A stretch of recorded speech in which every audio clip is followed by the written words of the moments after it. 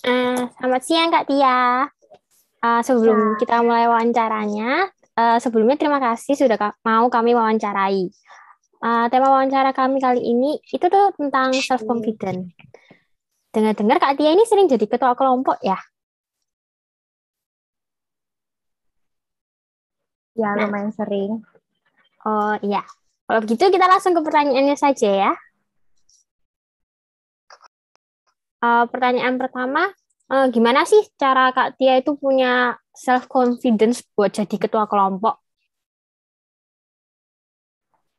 Kalau awalnya sih sebenarnya keseringan ditunjuk gitu ya sama teman-teman kelompoknya, tapi uh, akhirnya juga kan kalau udah ditunjuk mau nggak mau tetap harus bertanggung jawab. Jadi berusaha supaya bisa kira-kira mengatur kelompok itu gimana. Nah dari situ tuh juga uh, dapat gimana bisa lebih lebih percaya diri sama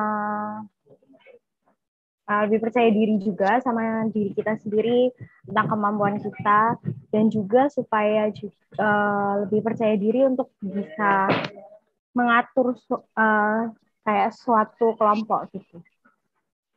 Oh, kira-kira uh, pernah merasa terbebani gitu nggak menjadi ketua kelompok? Kalau terbebani sih pasti iya ya, karena kan awalnya nggak mau jadi ketua kelompok, terus tiba-tiba ya udah kamu aja, kamu aja gitu kan kayak didorong-dorong terus.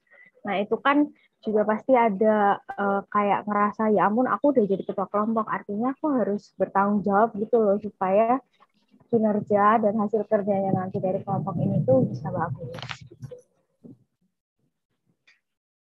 Oke, selanjutnya apakah kamu pernah ngerasa kayak nggak percaya diri atau kayak kurang gitu dalam ngatur kelompok kamu? Kalau pernah, coba ceritain.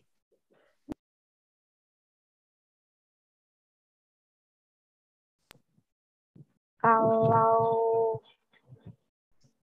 tadi pertanyaannya itu pernah nggak jadi nggak percaya diri ketika dalam kelompok gitu ya? Ya betul. Kalau nggak percaya diri mungkin hmm, pasti sering kayaknya ya karena kan uh, bisa aja kadang itu ngerasanya ya pun aku ini ngatur kelompok begini benar nggak ya? Terus kalau misalnya anggota kelompoknya nanti gini, aku bantu kayak gini benar nggak ya? Nanti kalau misalnya aku nggak bisa bantu gimana ya? Nah itu kan juga jadi salah satu hal yang harus aku pikirkan gitu loh kalau menjadi ketua kelompok. Jadi kurang percaya dirinya di situ sih.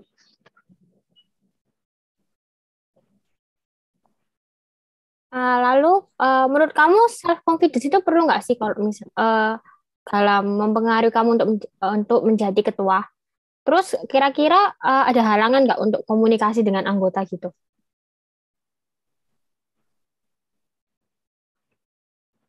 Kalau untuk menjadi ketua tentu aja harus punya self confidence ya, karena kan kalau nggak percaya diri biasanya hmm,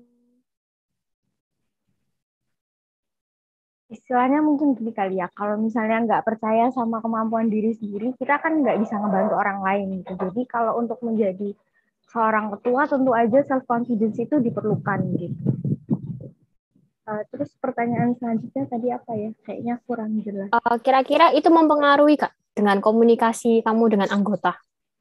Pernah nggak ada kayak uh, apa namanya kayak susah berkomunikasi dengan anggota gitu? Karena mungkin kurang percaya diri apa gimana atau sungkan? Kalau untuk berkomunikasi mungkin juga sulit ya karena kan apalagi kalau sekarang itu juga lagi pandemi. Jadi untuk komunikasi langsungnya kan juga susah, keseringan kan juga pakai chat.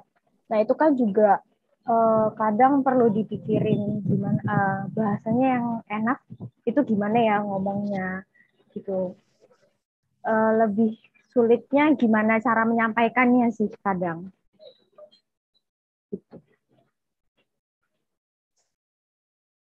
Oke, selanjutnya um, bagaimana tips and trick dari kamu nih biar bisa jadi ketua kelompok yang punya self confidence dalam memimpin kelompoknya? and trick. Kalau untuk memimpin kelompok itu pertama tentu punya self confidence. Uh, perlu ada self confidence ya. Nah, untuk meningkatkan self confidence itu mungkin uh, perlu ngelihat dulu ke baru dari situ tuh oh ternyata aku bisa gini. Artinya kayak kita bisa tahu kalau keunggulan kita tuh di bagian mana. Kita punya kelebihan itu di bidang apa. Nah dari situ tuh bisa mulai uh, meningkatkan kepercayaan diri kita gitu. Nah kalau untuk di dalam kelompok saranku sih tipsnya mungkin lebih sering aja ya nyatain pendapat. Kalau misalnya ada yang kurang, eh ini kok kira-kira gini ya, di, diomongin aja dulu sama teman grupnya. Jadi nanti dari pendapat-pendapat itu kan juga kita bisa belajar. Nah itu, oh ternyata itu begini. Itu sih menurutku.